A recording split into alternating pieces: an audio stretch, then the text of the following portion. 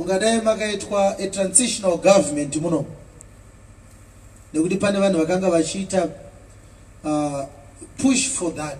Madii kuti opposition leader naruling party leader vataurirana vanhu vakatoti zvinoita zvinoita zvinoita. But makaita mistake imwe chete. Makaisa munhu asingafunge padhuze nepower pane munhu asingafunge ari padhuze nepower he has costed zimbabwe so much. Nekuti haana kujaira kutaurirana nevanhu. Ane zvake zvaanga akajaira but haafunge. Ndatopedza. Yes.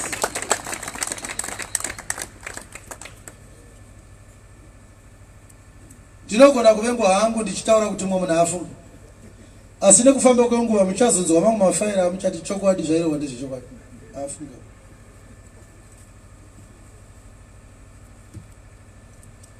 pane dzimwe mupi dzataibopa torima nadzo. Wozoti kana uda kuiboponora inotiza negejo. Iwe chida kuiboponora? Da kuti unofura shamwari. Unotojamba gejo rakuda kutokuvhuna so richitiza kuti mambo ndiboperei handisunungurikei kune vanhu vakadaro. Yes. vakanditorerei ezvo vanhu vachibvunzana kuti saka ndiani anitaura naye nyaya yakati? Vanoti nandikwanise nandikwanise nandikwanisei vanhu voti saka ngatingomsiyai ngatingoitai zvaanoda zvacho. Hatidi maproblems asi problem iyoyo mwari achaisolva zvakachenjera. Yes. manje manje